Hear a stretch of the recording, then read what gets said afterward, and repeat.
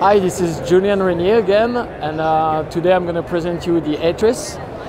So the Atris is a 108 um, powder ski with um, it's kind of a legacy to freestyle backcountry, but with a lot of uh, free ride attitude. Everything is shifted a little bit back. You don't have a, a center ski.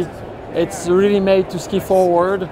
Um, as far as a rocker profile, it's uh, it's quite there is a bunch of, uh, of rocker on it.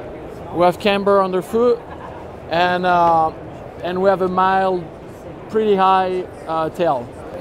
Uh, the flex is uh, not super stiff, but it's good for everyday skiers, everyday skiing. You can ski really fast on it, and you can ski a lot of different conditions.